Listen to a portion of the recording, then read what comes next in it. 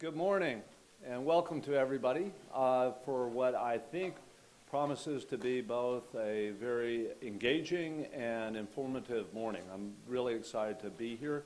My name is John Mayo. I'm a professor of economics, business, and public policy at McDonough School of Business and a Klutz. Uh, uh, I earned my academic stripes, I guess.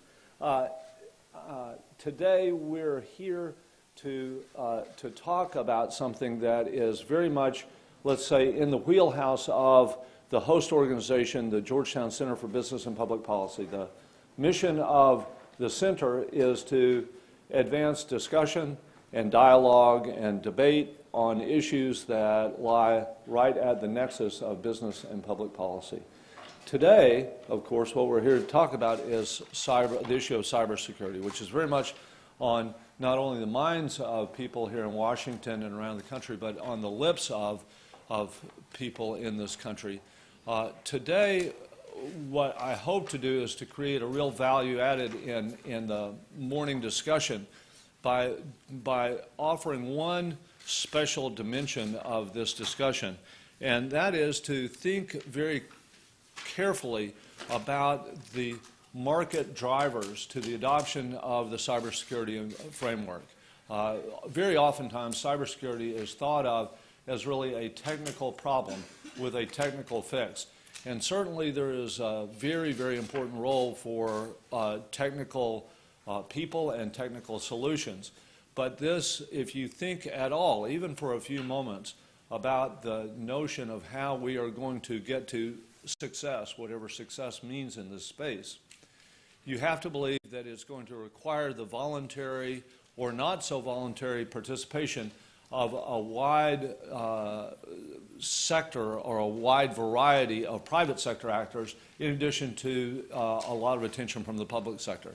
So thinking about this issue as one where uh, identifying incentives and institutions that promote cybersecurity is really, really very, very critical. So today what we're doing is having this discussion under the title From Here to Secure Market Drivers in the, in the Cybersecurity Framework. Uh, by way of organization, what we're going to do is have first a keynote uh, speech by uh, Phyllis Schneck, who we're very, very pleased to have, who is Deputy Undersecretary at the Department of Homeland Security, uh, to offer some, some initial remarks and to field a few questions. Then we'll move to two panel discussions. Uh, the first is a panel discussion that will be from uh, ex, a set of panelists that are experts from the public sector, and then we'll have some Q&A, and then move to a discussion from, the, uh, from a set of people, uh, pa of panelists from the private sector, and we're very excited about this. The idea is to have a robust discussion. So uh, while we have a set of people who are experts in their own right, they've been asked to uh, keep their remarks relatively limited so that we have time for questions and answers uh, to really promote this discussion. Um, as I said, everyone on the, uh, on the dais today uh, is distinguished, so distinguished that I'm not going to introduce them, uh, other than to simply say that their bios are in your handouts. Uh, please look at that, and, and with apologies to, to those people who I am not introducing properly. Just do know that they are experts in their own right. Uh, with that, let me turn the podium over to Phyllis, who will kick off the, this morning's event. Good morning.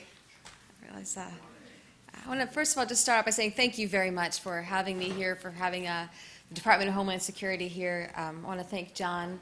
Uh, thank you for what you do. The fact that you are focused here bright and early in the morning on Thinking about cybersecurity shows us that it's no longer a technical problem of nerds, viruses, and worms in their basement. And we really look at how we secure our way of life. So by a little bit of background, uh, my own background is high performance computing and cryptography. It's also looking at public-private partnership, working with a lot of our law enforcement partners and really how we engage our private sector and academic stakeholders and how we actually look at this problem. Cybersecurity, you all drove here in a computer today or rode in one or walked on one. Uh, electronics are in everything we do. So my role in the Department of Homeland Security is in what we call the National Protection and Programs Directorate. It's, and it's focused on how we look at cybersecurity through our way of life, our transportation, our water, our oil and gas, everything that drives what we do, everything that powers what we do, and looking at how you make those systems resilient. So it's not just about the IT systems and the computers. It's about how you keep everything else we have awake, even if some natural disaster tries to hurt it, like a hurricane or a storm, even if something, an adversary, a witted adversary comes at it. How you keep those systems resilient. So our mission, and part of our mission space in National Protection and Programs Directorate and what drives us is what we call critical infrastructure resiliency. So when I look at cybersecurity and the importance of our markets and the importance of our business and our academia, it's keeping that stuff alive. Other parts of my responsibility also include across the Department of Homeland Security. How do we engage across our department? How do we learn lessons from the folks that keep our own network safe? How do we leverage the enormous research and development efforts that we have? How do we contribute to more people like that are in this room that are learning about cybersecurity in our workforce? Uh, so as we look at that, one of my priorities, I've been in my job 12 weeks, by the way. I left a career in the private sector, uh, a place that I loved, but I left it because uh, this is an opportunity to really focus on the mission, 100% on what we want to get done, without a quarterly reporting to get in the way. So with that opportunity, looking at our amazing teams, and I'm going to brag about the team a little bit, one of the things that my friends said to me when I came over is, is the joke you hear about government. And a lot of my good friends across the country said, What are you doing? You're no longer going to get to work with good people. Uh, I got news for them. I work with the finest people on the planet. And if I could just thank, you know, Bob Kolasky, Coleman Mehta, Davis Hake, and John Leslie, and the team back at, at the department that is supporting this mission, uh, this has been, in, even in just 12 weeks, one of the biggest learning experiences and humbling adventures I've ever had. Uh, so as we continue that, my top priority will be building trust with our stakeholders. Our academic stakeholders in research and development, our businesses throughout the country and throughout the world, cybersecurity is an international mission, and it'll be building that trust because we face an adversary that has no way of life to defend, they have no civil liberties, no privacy to worry about, they have no lawyers. They have plenty of money, they share information, no joke, we study this, they meet in the prisons, they do everything that we can't do. They have everything that we don't have as far as funding, and they're using our good infrastructure to get technical a little bit, ship really bad stuff at carrier grade speed to really good people. And it unfortunately affects a lot more, more than computers. It affects our oil and gas, our water, and everything we consider critical and everything we consider in our way of life. So what we've had to do is look at, at how we drive better cybersecurity.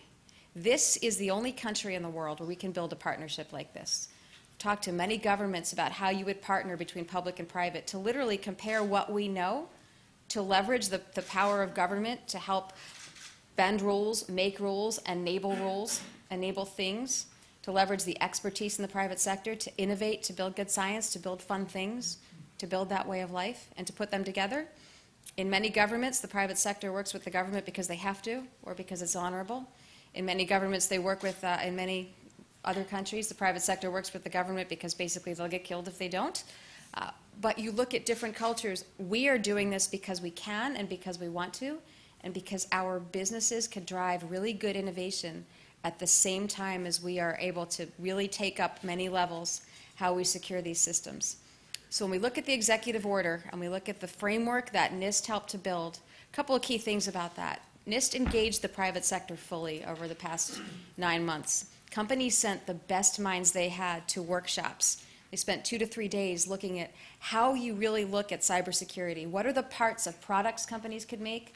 What are the best practices that we could honestly think that people will implement? What are the right ways that we can all go forward as business? And now we look at, and, and my world in the Department of Homeland Security, main goal is to get this adopted, but adopted right. As I told a group yesterday, um, a group of, of private sector stakeholders, you all knew me 12 weeks ago when I sat in your seat. My views haven't changed. I just have a different employer. I have a longer commute and no one's allowed to buy me a drink, but my views haven't changed.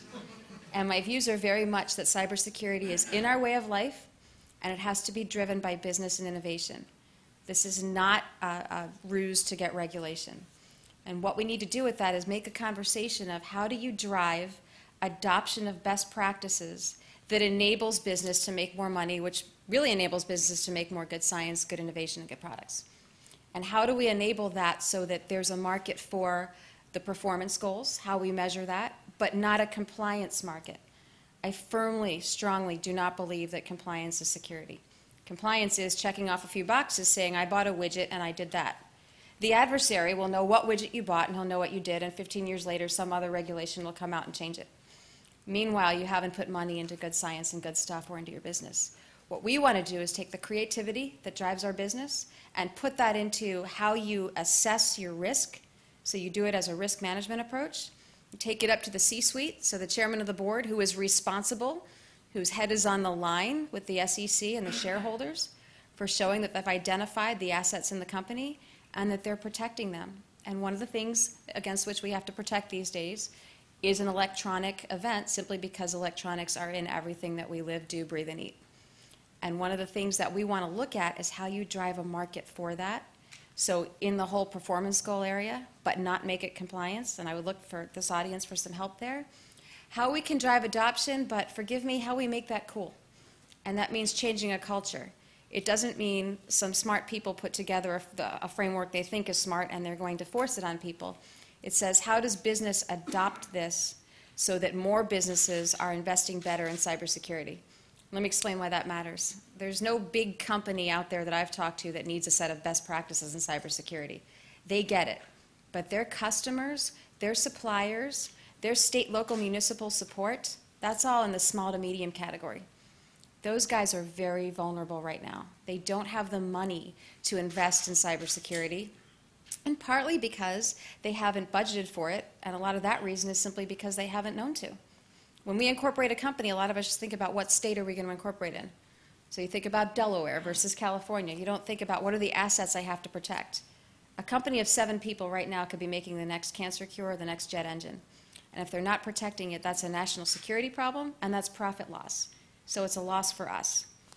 The other piece we want to look at is not only helping the small to mediums protect their assets better, but also imagine the understanding that we don't have because they don't know the, the attack attempts that are coming into them. They're not getting reported, either electronically or even just sharing with their colleagues. We don't know, and remember that small to medium and state and local, that's 99% of what's connected right now in this country. We don't know what's happening to 99% of our stakeholders. We only know in the big guys. So imagine having a weather map where you only know the weather in one state and trying to protect against a tornado or forecast a big hurricane. We at DHS have the ability to work with privacy, with civil liberties concerns, and also collect what I'll call cybersecurity indicators on the level of volumes of bad stuff going where. We don't have that data for most of the market. If this framework could get adopted the right way, we could start to understand better who is attempting to get into those other companies and smaller places and protect everyone else a lot better. That's the one thing the adversary can't do in cyber. And that is what will destroy the profit model for right now those who engage in cybercrime uh, and cyber destruction. What we worry about most is a cyber event that causes a bad physical event. But only business can drive the adoption of a framework like this.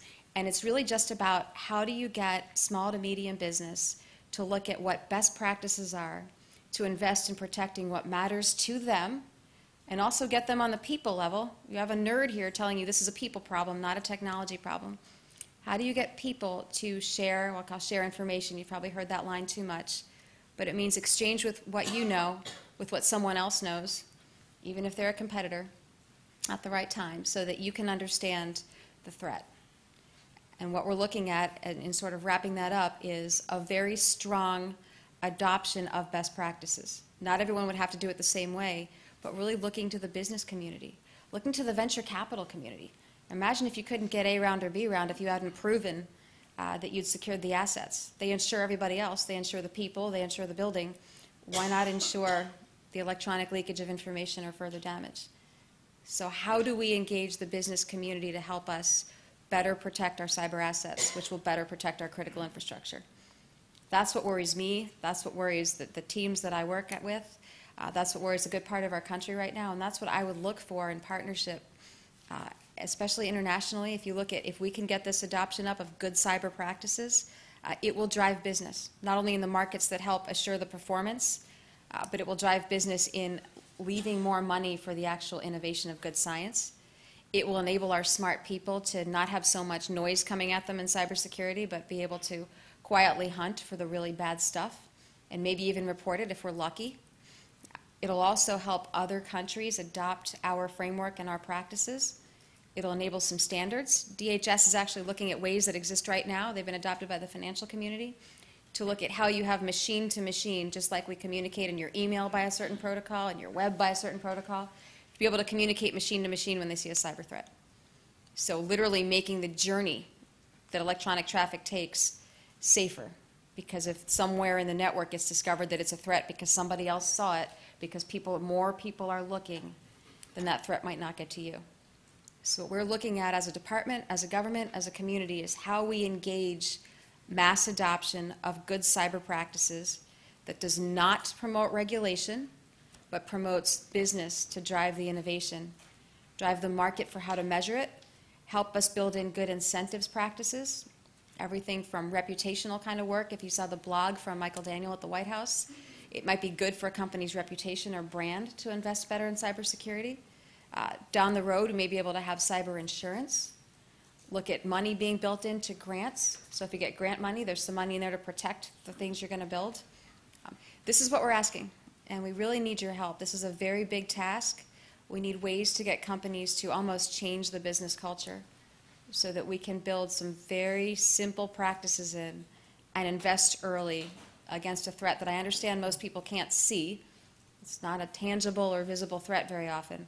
But there are two kinds of companies those who know they're compromised and those who don't. And basically, everybody has a visitor, and I tell you that professionally and scientifically. The question is how to mitigate that risk. You can't get everything. What are the best practices? We will put the full force of government behind enabling this in partnership with the private sector. Uh, I am fully committed to this. It's part of my job, and we will get it done. So I would ask for uh, any questions and how we can help you, uh, help us help you. And uh, thank you very much. I hope I stayed on time with uh, enough time to give you some questions. Anything? Yeah. Well, the, uh, framework, from what I've read, was designed for the critical infrastructure. Critical was designed for the critical infrastructure, and the critical infrastructure is pretty much through the EO and PPD 21 and EO 13636. They define what that critical infrastructure is. So it sounds like we're moving away from just using the framework for the critical infrastructure to everybody, the 99%.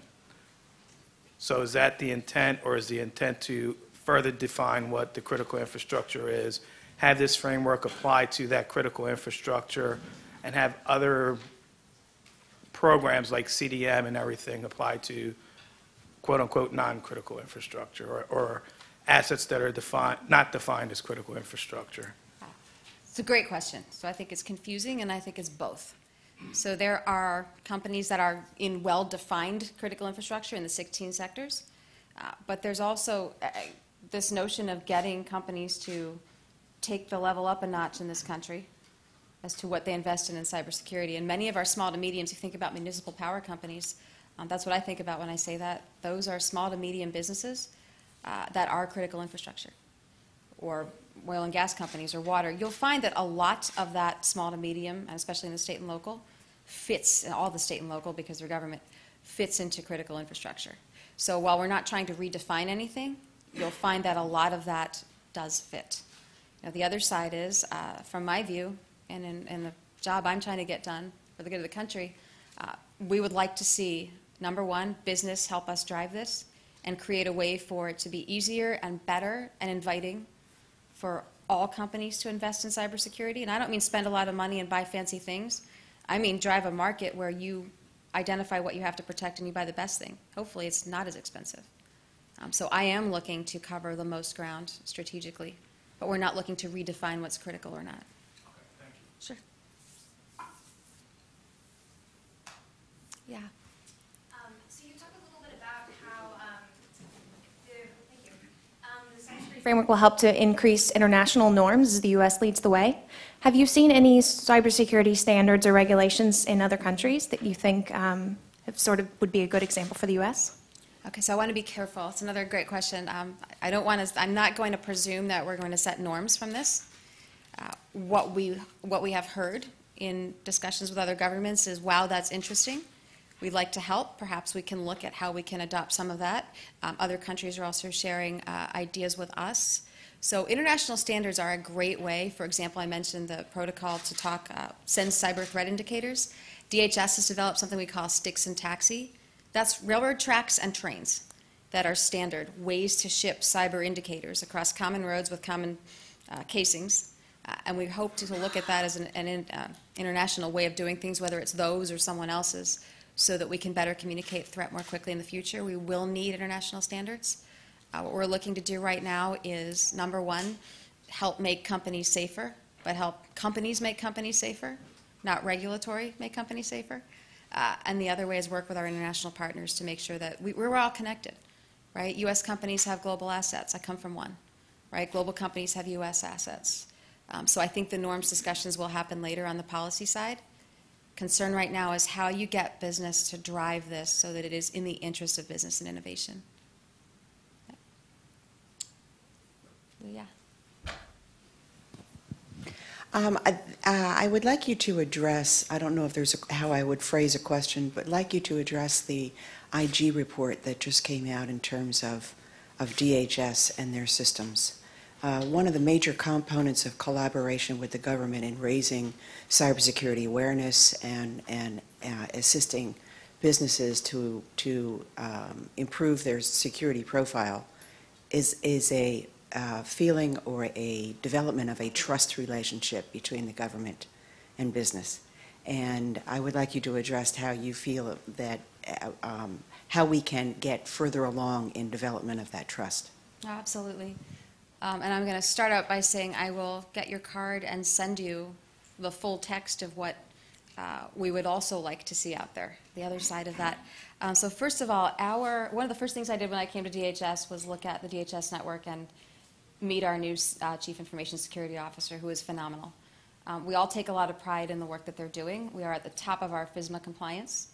Um, I, it is my understanding that that report uh, was written before certain things uh, were upgraded and happened.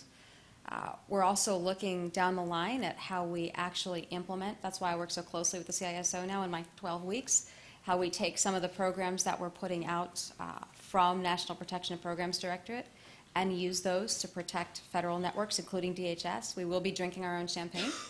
Uh, one of those programs when we can do it, uh, and not all of the, the, the reason we haven't done it is, is not all DHS. There are a lot of moving parts to that, uh, but be able to protect that with our Einstein program. The ability uh, to take a crowdsourced view of what's happening all across government and protect every single point with that. So we'll be adding that. We will be a first customer or second or third customer for continuous diagnostics and mitigation, which turns your network, they're already doing some of this, into an ecosystem where every device on the network learns something. So it's like your body fighting a cold uh, instead of just threats coming in and you write it in a notebook. Uh, but a lot of work's been done on the DHS uh, network itself, and I'd like to give you the full report later because we answered to, I believe, Congress about this a while back before that report was published. And I think there was a timing issue with that. I think it came out before, uh, just like legislation comes out and it prescribes things that were good a year ago. I think this report came out with some older information. That's my understanding as of 12 weeks, and I will get you a comprehensive explanation following. But we do take a lot of pride in our network, and, and that will be something we very much focus on. Yes. Okay, we have time for maybe one more question. And can you hold on for just one moment for the microphone? If um, one of the levers that, uh, one of the points of leverage with public companies obviously is the financial community. Do you engage with them at all as a way of uh, creating leverage with the companies that they uh, analyze and report on? Because that, that's one community CEOs listen to. Absolutely. So the financial community is probably the best example of how to partner. And as was explained to me many years ago by a gentleman that had worked in the financial community for probably 50 years, he said they started down on Wall Street in the dark of the tall buildings. They all went to the same delis, and all the bankers from the 30s on shared information. And this culture, because unlike the rest of us in other parts of the critical infrastructure like energy or water, criminals always went for the money. So the financial community always knew they had assets to protect.